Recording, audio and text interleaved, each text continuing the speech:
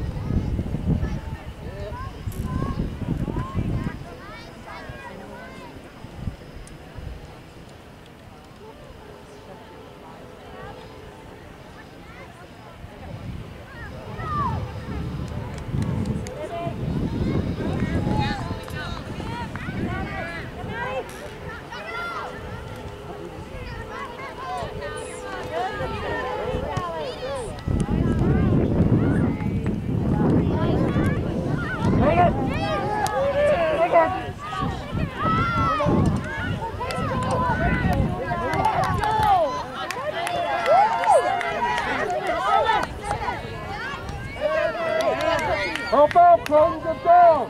Ready.